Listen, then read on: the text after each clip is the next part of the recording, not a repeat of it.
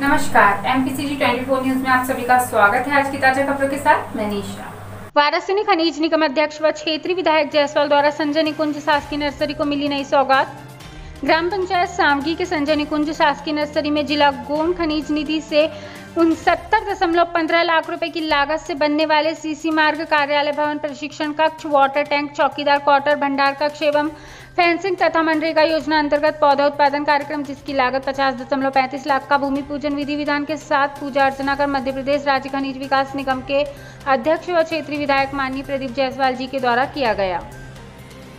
भूमि पूजन कार्यक्रम के दौरान कलेक्टर दीपक, आर्य पुलिस अधीक्षक अभिषेक तिवारी, जिला पंचायत सीईओ रजनी सिंह, एसडीएम संदीप सिंह, जनपद सीईओ गोस्वामी, जनपद पंचायत अध्यक्ष चिंतामन नकपुरे, दाऊद मंसूरी, मन्नू राम टेके राजकुमार बहेटवार ज्ञानी राम लिल्लारे, रामप्रसाद तितरमारे, आनंद बिसेन जसवंत पटले, संतोष आड़े, रीना कासल, चांदनी शर्मा, बंटी गौतम, आचार्य रेवेकर अशोक मरार किशन बहेटवार सहित अधिकारी गण एवं ग्रामीण जन उपस्थित रहे। वहीं नर्सरी परिसर में वृक्षारोपण भी किया गया।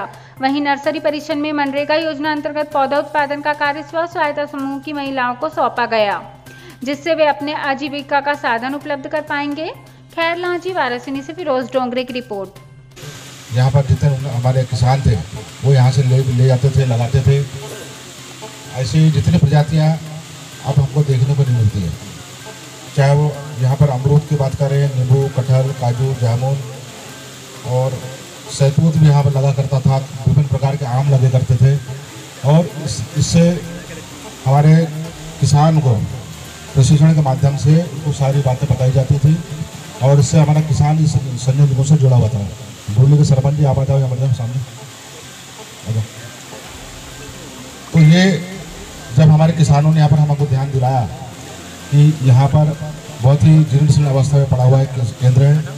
इसको ऊपर उठाने की आवश्यकता है और जिससे हमारे किसानों की आजीविका भी बढ़ेगी, हमारा महिला समूह को भी यहाँ पर आजीविका मिल सकता है।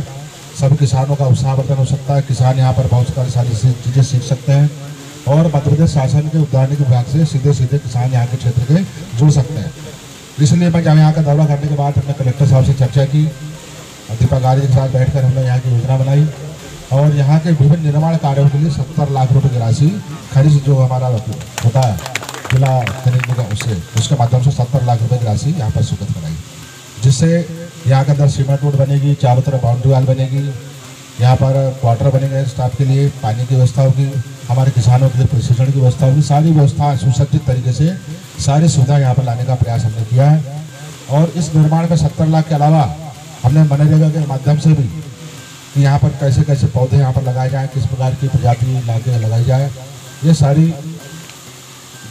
विभिन्न प्रकार की नर्सरी के लिए भी और हमारी जो स्वच्छता समूह है, इनको इसके साथ जोड़ने के लिए लगातार एक कार्यक्रम जो बना है, उसके लिए भी हमने मनरेगा के माध्यम से पचास लाख पचास लाख की राशि वो अलग से स्वीकृत की यानी संजय निखिल को इस साल एक करोड़ बीस लाख रुपए एक साथ यहाँ पर दिए जा रहे हैं ताकि इसका ये संजय निकुंज हमारे वारासोनी खल्लान जी नहीं, बल्कि पूरे ज़िले में हमारे किसानों को एक प्रेरणा दे सके दिशा दे सके और उनको आजीविका के माध्यम से, रोज़गार के माध्यम से भी जोड़ने का प्रयास इस संजय निकुंज के